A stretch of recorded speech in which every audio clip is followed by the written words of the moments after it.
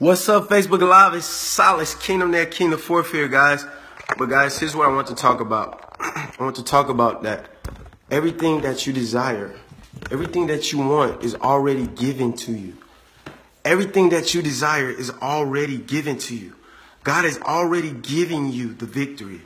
But you got to seek first the kingdom of God and his righteousness, and all these things will be added to you. I think my Facebook updated, it looks a little different. But guys, you got to seek first the kingdom of God and his righteousness. And all these other things will be added unto you. Everything will be given unto you, guys.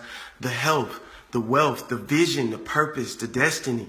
Everything, guys. When I became, when I got in Christ, see, I'm making these videos because I want to show you how to keep being persistent.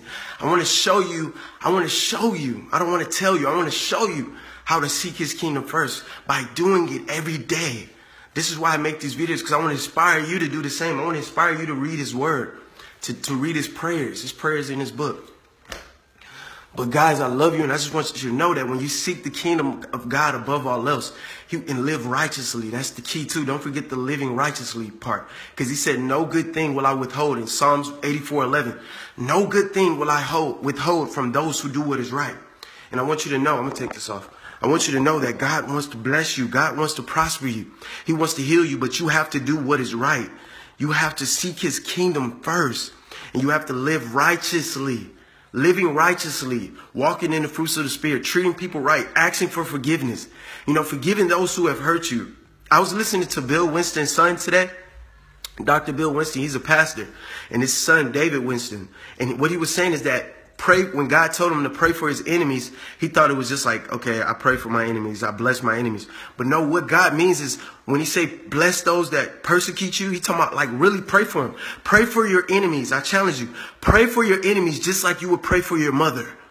That's when you know you become then you can see what it feels like to love your enemies, the compassion of Jesus Christ, how he loves everybody.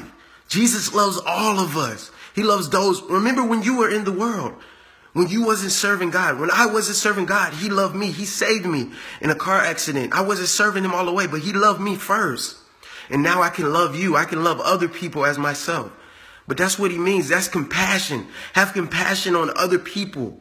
That's living righteously, doing what he told you to do, doing, seeking the kingdom above all else, going to church, serving in the ministry, helping the homeless, helping those in need, doing for others helping other people. How are you going to help other people if you can't even help yourself? You got to help yourself first by getting in his word, by getting, by receiving his salvation. What's up, Kyle? What's up, Ryan?